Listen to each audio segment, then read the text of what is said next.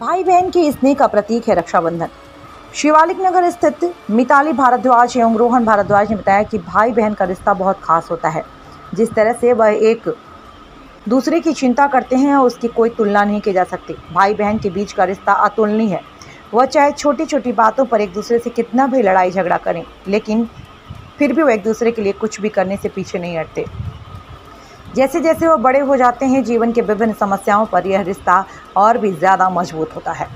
बड़े भाई अपनी बहनों की सुरक्षा के लिए हमेशा तैयार रहते हैं। इसी तरह बड़ी बहनों द्वारा भी अपने छोटे भाइयों का मार्गदर्शन किया जाता है। भाई बहन के इसी प्रेम के कारण यह विशेष पर्व मनाया जाता है। रक्षाबंधन का त्यौहार हर भाई बहन के लिए बहुत खास होता है। यह उनका एक दूसरे के प्रति आपसी स्नेह, एकजुटता और विश्वास का प्रतीक है। इस पावन पर्व पर मिताल भारद्वाज ने अपने भाई अनंत को राखी बांधी और स्नेह प्रकट किया। एवं अनन्या भारद्वाज ने भी रोहन भारद्वाज की कलाई पर राखी बांधी। दोनों भाइयों ने अपनी बहनों के लिए स्नेह प्रकट किया और उनकी जीवन भर रक्षा करने का वचन दिया। नदीम सलमानी, ब्यूरो चीफ हरिद्वार की रिपोर्ट।